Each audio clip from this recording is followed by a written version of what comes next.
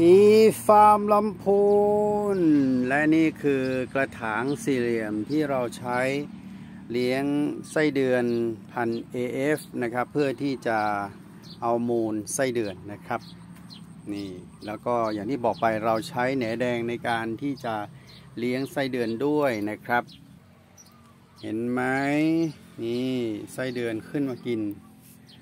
นะฮะน้องขึ้นมากินเลยนะครับ มากินแหนแดงเลยนะครับ หนีแล้วนะครับ หนีแล้วเนี่ยฮะนี่ครับ น้องชอบมากเลยนะครับแหนแดงเลี้ยงไส้เดือนนี่